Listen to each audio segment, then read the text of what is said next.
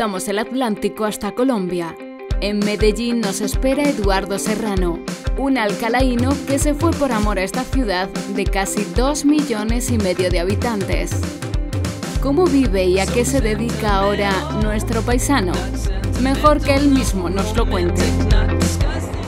Hola, eh, soy Eduardo Serrano Cano, eh, soy de, de Alcalá la Real, en Jaén. Y, bueno, llevo viviendo aquí, estamos ahora mismo en la, ciudad de, Medellín, llevo viviendo en Medellín, en Colombia, eh, más de dos años y medio, ya aproximadamente hacer los tres años que llevo viviendo aquí en esta, en esta hermosa ciudad. yo me dedico a, pues trabajo para una empresa española de, insumos agrícolas ¿eh? que trabaja en toda la parte de, Latinoamérica y también colaboro con una empresa eh, de energía renovable que también opera por aquí, por, por, todos estos países. Eh, muchos me preguntan que, cuál es el motivo y que por qué, por qué estoy yo aquí en, Colombia. ¿no? Bueno, son muchos los motivos, pero principalmente eh, pero el motivo está aquí al lado, se llama Paulina, es mi esposa, eh, llevamos cuatro años juntos. Nos casamos eh, el año pasado allí en Alcalá, en San Juan, y ahora muy contentos. Y el principal motivo fue ella. Yo la conocí a ella allí en, Granada, estaba estudiando un máster. Ella es licenciada en en marketing y comercio internacional. Y, bueno, pues las oportunidades que se nos presentaban aquí en Colombia eh, eran más importantes que las que teníamos en España y más por la situación que, que, teníamos. Entonces decidimos dar el paso, ¿no? un paso fuerte e importante. Y bueno, y, la verdad que, que, no nos hemos arrepentido de, de venirnos aquí a Medellín. Estamos muy felices, muy contentos. El clima es una de las cosas que más le gustan a Eduardo de Medellín, que nos cuenta que allí se levanta a las cinco y media y se acuesta cuando nosotros empezamos a preparar la cena. Hay una idea, son como dos horas antes eh, que, en España, ¿no? Si en España la hora normal de levantarse está entre las siete y media o por ahí, aquí a las 5 y media. La hora del almuerzo, la hora de comer, aquí a las 12 de la mañana, se come a las 12 de la mañana. En España es a las 2, ¿no? Pues lo mismo. Y la cena, pues aquí cenamos más o menos a las 7 de la tarde, que serían las 9 de la noche en España, y las 9 de la noche, que serían las 11 de la noche en España, ¿no? Esa sería la diferencia más o menos. Eh, porque aquí, eh, a, diferencia que en España, eh, siempre no hay cambio de hora, siempre amanece a la misma hora a, las cinco y media, 6 de la mañana ya, ya está todo eh, el, sol en la calle y anochece siempre a la misma hora. A las 6, 6 y media de la, de la noche eh, siempre anochece. Eh, también cabe deciros que aquí pues bueno, no hay estaciones, no es como, como en España. aquí siempre, y sobre todo en Medellín, ¿eh? Eh, dicen que es la, ciudad de la eterna primavera y es verdad, aquí siempre estamos todo el año entre 25 y 30 grados. Desde la terraza del hogar de nuestro protagonista se divisan edificios como el Banco de Colombia y grandes avenidas que nos muestra una jornada de domingo. Como veis aquí a mi espalda está eh, el edificio que os enseñaba ayer desde, la casa, es la sede central de, de Bancolombia.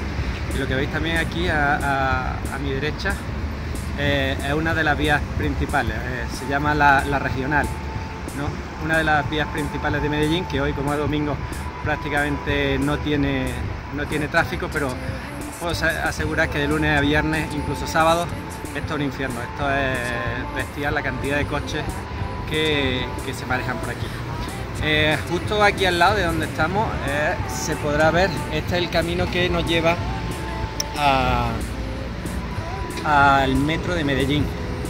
Que eh, pues bueno, el metro de Medellín es, una de las principales infraestructuras que, se creó aquí en, Medellín y, que vertebró la, ciudad. ¿no? Fue un desarrollo muy importante. viajar aquí en metro es, una auténtica gozada, aunque sí es verdad que, que está colapsado. Ahí están ahora mismo en la ampliación de varias líneas. El metro de Medellín se, se construyó hace algo menos de 20 años y fue el primer metro de, Colombia. ¿no? La verdad que es una, de las infraestructuras que, merece la, la pena. ¿no? Tu café, tu copa, tu mojito, tu música, tu ambiente en Karaoke Happy Hour.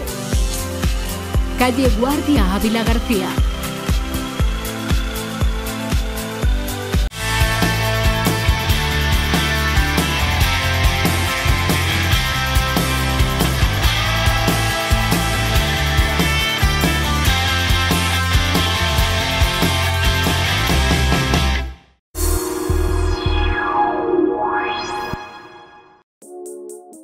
A las zonas más altas de la ciudad se llega en Metrocable, desde donde Eduardo nos enseña las casas típicas de Medellín y la Biblioteca España.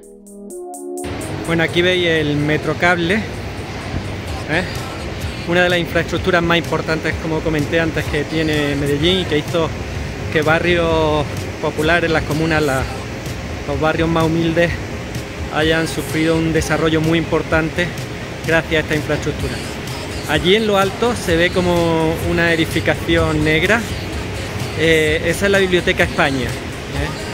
Eh, también un sitio digno de ver por la ubicación, que está en una de las zonas que en su tiempo fueron más conflictivas y que también supuso un, paso importante en cuanto al desarrollo de, esa comuna. ¿no? Mirar el tipo de edificaciones que hay este, el 80% de las edificaciones de aquí de, Medellín son así. ¿eh? Colombia tiene una gran agricultura y ganadería y por tanto buenas carnes. Acompañamos a Eduardo a la carnicería de una gran superficie. Os voy a mostrar la, mostrar la lista de precios y donde podéis comprobar